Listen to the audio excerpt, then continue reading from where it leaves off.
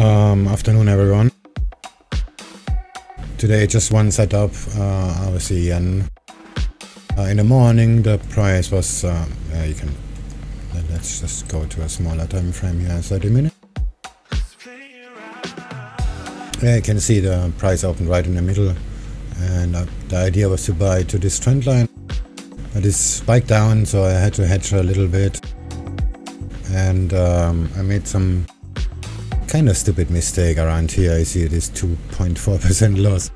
This was actually, um, the price went down for, actually for no reason.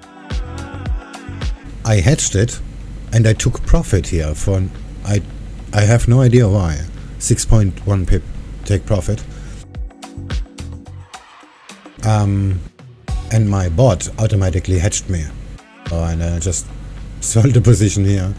Uh, turned, turned it to a buyer again and price just went blah blah blah nowhere. Um, I almost gave up that this is actually happening. And then price actually went down. So I scaled out here because I had this uh, big hedge position here I was still on. So I just used this position reversed it um, let it go all the way down.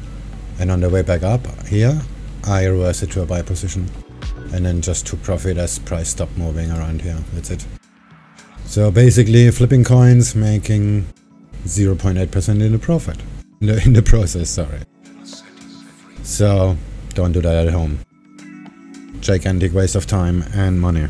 But well, I made some money. Anyway, that's it for today. Hope tomorrow is gonna be better. Yeah, have a good one.